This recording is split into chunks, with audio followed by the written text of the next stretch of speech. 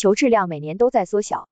科学研究称，彻底消失需十五点四万亿年。作为人类及各种生物生存的星球，很多人可能没意识到，地球也是在不断变化的。其中一个问题就是，地球的质量是一直不变的吗？或者是增加、缩小？科学家们表示，地球的质量实际上每年减少六万吨。不过，要想地球消失，至少得十五点四万亿年，这是看不到了。美国弗吉尼亚州美国宇航局。南力研究中心的专家指出，地球的质量并不是固定的，主要取决于两个因素，一个是大气逃逸的部分，一个是太空中的物体进入地球。实时测量地球质量是很难的。根据研究人员的观测结果，虽然听上去很多，但是对地球来说，这点质量完全不值得一提。这个时间比宇宙寿命都要高出一百倍，地球也不可能等到十五点四万亿年之后了，因为地球的寿命可能就只有五十亿年了。因为科学家预计太阳会在五十亿年后变成一个红矮星，到时候太阳系都会受影响。